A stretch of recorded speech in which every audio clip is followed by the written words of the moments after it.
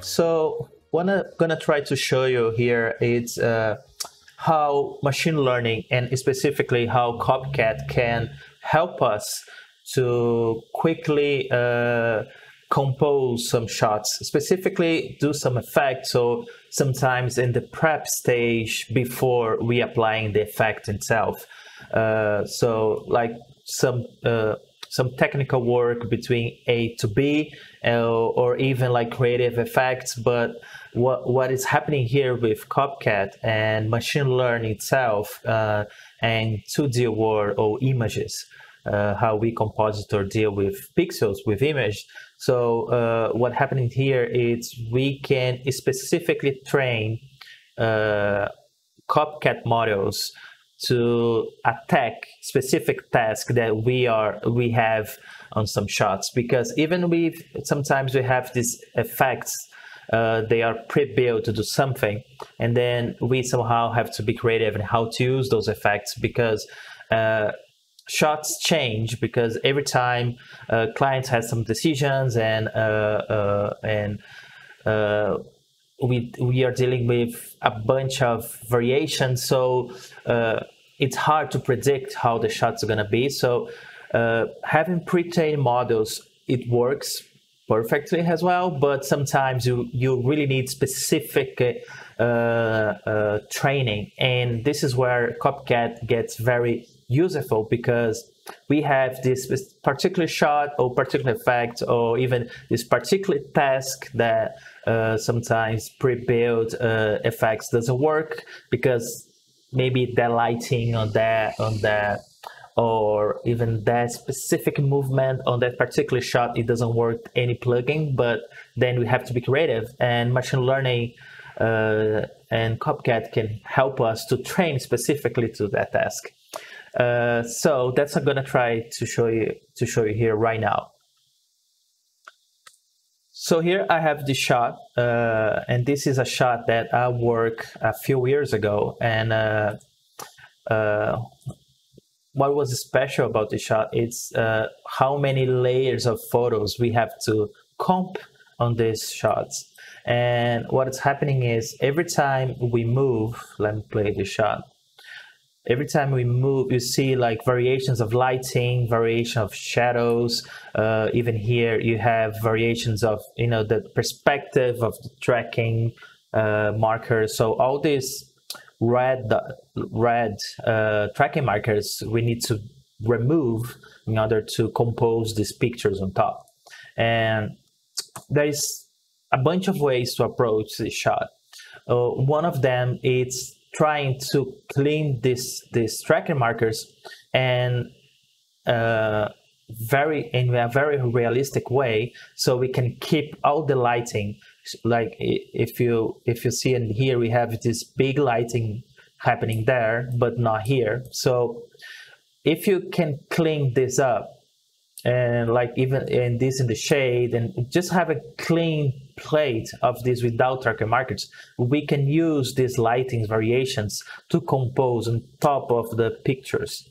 And uh, this is exactly what's happening on this shot. So in order to make this shot realistic, we need to make sure uh, that we have the lightings and uh, in some frames here for instance, if you see here, you have the shadow of the of the finger, but you have this uh, this strong me to highlight effect happening. So these variations is it's great because when you put this on top of our digital photos, we have this uh, uh, we make more realistic because of this uh, particularly you know real world effects. So uh, we we could before machine learning and CopyCat, we could easily, you know, go in here and go uh, tracking markers by tracking markers. And then what we can do is place that and manually removing one by one and then remove this manually. So as you can see here now, I'm going to apply traditional 2D effects. Um, I, what I'm going to do is trying to patch uh, the surround area and then quickly removing the original tracker markers and we can, we usually do in this way and then we we we're trying to get the best pixels surrounding and then in the combination of all of those tracker markers uh, we have a, a, a pretty nice clean plate with all the effects of the real light uh, environment. But what's happening here, as you can easily see, this will take uh, a bit of time. And I remember doing this shot years ago, and this took me uh, a good solid days because you know I want I was looking to have all this uh, this this tracker markers removed. So uh, what all these techniques of machine learning is allowing us is is to doing this same task very fast and we we do have like approaches like uh, imaging painting or even uh, approaches with GANs to trying to patch this with a mask and then get its surroundings and then clean.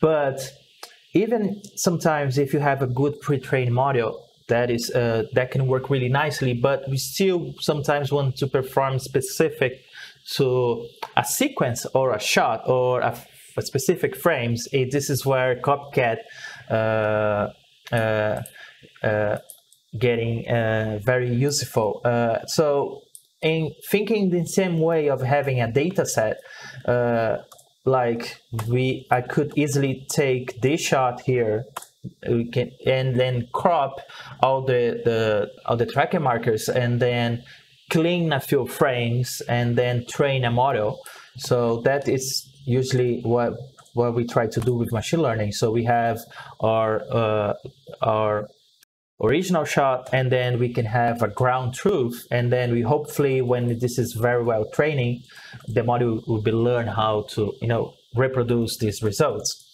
and this was manually uh, clean but what's happening with this approach which is also is amazing is we as a compositor we'll have more tasks to do for instance, uh, we will need to, you know, cropping all the images and then try to to maybe align each one and then have uh, all the best uh, variations and so on. And when with Copycat, we even don't need to do that specifically by cropping and prepping.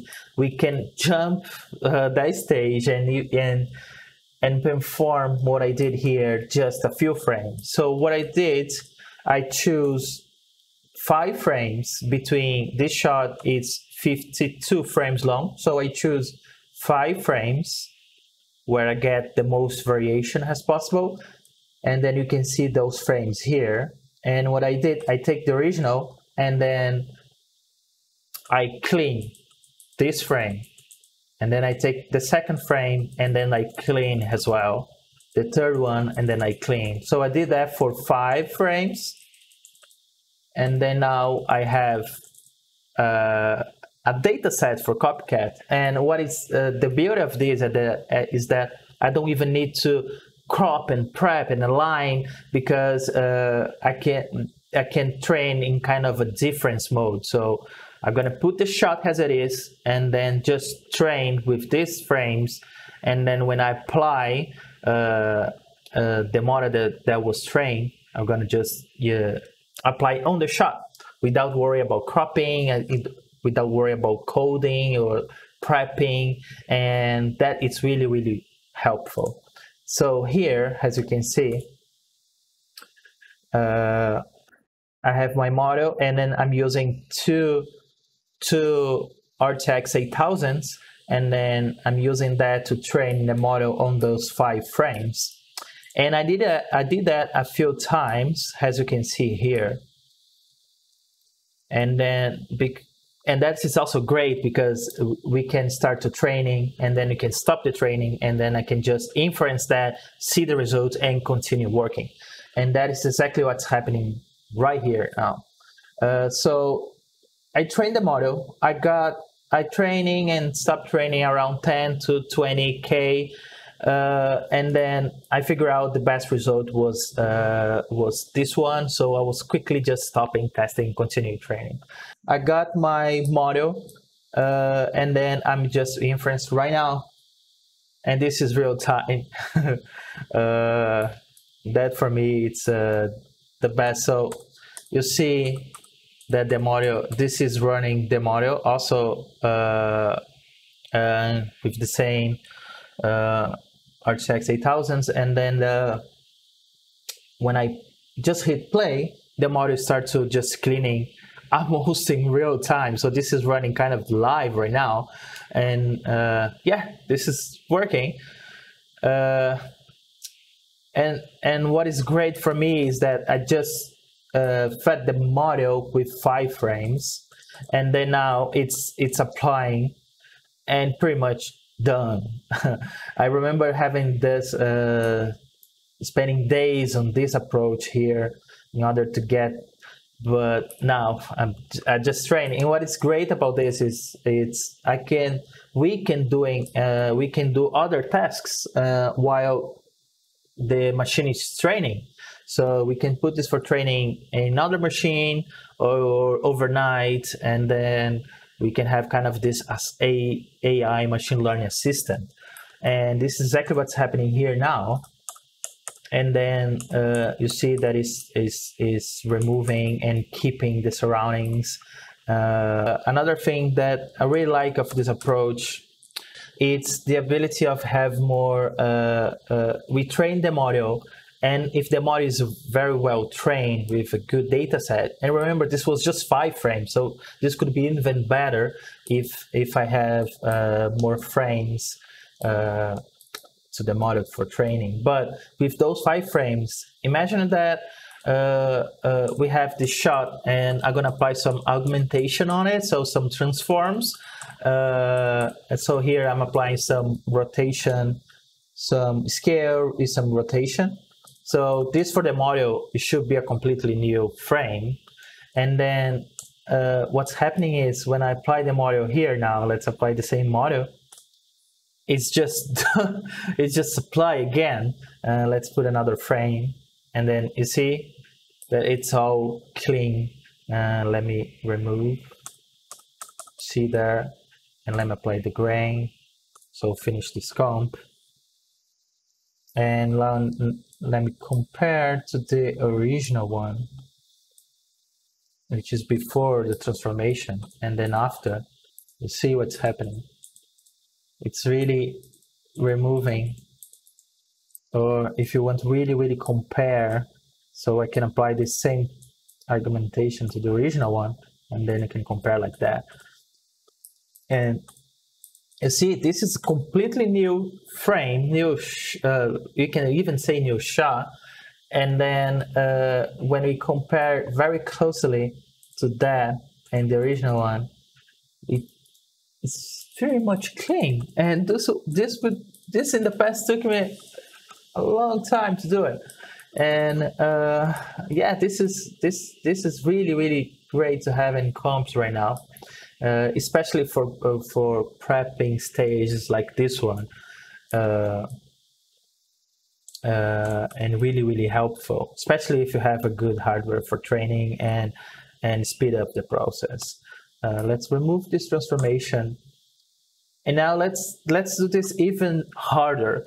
Imagine it. We do have AI uh, machine learning models to do retiming. We we saw in the past like NVIDIA doing these amazing approaches to do retiming. So imagine if you retime this shot. So we're gonna create frames that we never saw before, uh, and this is uh, so when I apply a retime here I essentially creating completely new frames because this is this is low down uh, uh, for different speeds, as you can see. So go faster, go slow. So for instance, uh, if I put some keyframes here, let's actually let's actually create this right now. So let's kill keyframes. I'm gonna create some handling. So here, here I'm gonna slow down. So here I'm going to speed up again let's speed up more. So, and here I'm going to slow down this again. So you see that it's because this is based on uh, an optical flow, uh, a traditional method of applying uh, and create completely new frames. Sometimes this does create uh, some artifacts. So what's happening here in this between frames is the uh, we are trying to we are creating a completely new frames that was never planning to to have it. And so if I if I wanted to do this manually, I would have to just redo it a shot again because all my my manual masks like I had here and all my you know uh, scales everything would be completely different. Imagine imagine by doing this this uh, this this slowdown or this time warp it's we are just completely having a new shot. And when we try to apply uh, the model it's just remove it. it. This is a completely new frame. When I pass, you see it there? You can see by by having these uh, artifacts, you, we know for sure this is a very new frame. And you see the model is trying to remove. Even like with, even with the artifacts, you see there, these artifacts happening there? It's, it's actually removing as well because, you know, the model was trained to, to remove this type of, uh, of of pixels. So why not the artifact and actually working? Uh, so when I apply the grain, the, just matching the grain from the original, we almost have the, we pretty much have it clean, which uh, for me, this is really amazing, amazing, especially for artist perspective that we can, you know, you see what I just did here, even let's push even more and create like augmentation the shot and you see, it's just do it again. And if I want to render this in real time, applying the the retiming and then having the whole thing, it's just doing it. So this is really really powerful in it in creating a completely new way of approaching the shots because it gives us the ability to work uh, to train a model specific to the frames that we need to be working or so sometimes you're dealing with shots that we need to be very, very uh, uh, be careful about it. So having a model that we can train on on our own uh, and this is really on and very specific to those frames. This change uh, the workflow completely, and that is where CopyCat came because this is really great and for sure not only for this but uh, other tasks we we'll be able to apply effects like that. So yeah. So also another thing that we could do uh, is imagine that this shot, this is a 3K shot. So depending of the hardware and computer that you have, this can be very uh, very difficult to to to work it on because it's very heavy, especially if you have to do not only this, but you have to do the whole comp and that can be very heavy. So a good way to, approach this with, with CopyCat is training specific to this shot or even to the whole sequence, but training to to upscale those pixels. So what you can easily do here, for instance, is I have this a native 3K resolution, and then what I can do is resize this for full HD. So let's resize this like uh, half percent. So let's say I want to this in half. So now this is half resolution that we had before. You see that you're losing a lot of definition because you're now half of the percent here, like uh, it's not even 1080p anymore. So this allows to be very, very applying effects really, really fast. So what we can do here now is adding a cop CopyCat and make sure that my ground truth is going to be the original one and my input is going to be my resize one. And now what it, what I can easily do is it's training. So CopyCat is going to be training with ground truth, the original one. And when we zoom like that, let's see those record marks that has resolution and this one which lost a lot of rest. And then now I can just put for training quickly. And since I have two RTX 8000 here I can just push this to be to looking for details. And uh, let's clump this. Since we have 50 two let's add off. So bed size of 25 and then I'm training a model to just uh, to understand the difference of the resize specific to that shot. And then I if this is well trained as you can see here now it's trying to you know understand the differences as you can see there. And then once this is well trained we'll be able to just resize the end. So we can comp we can do all the all our effects in the very not very small but in the small resolution. And then quickly compose the shot and then apply to upres again and make the shot even faster. So, so that's it. Hope you have enjoyed and thanks foundry and thanks uh, everyone. Thank you. Bye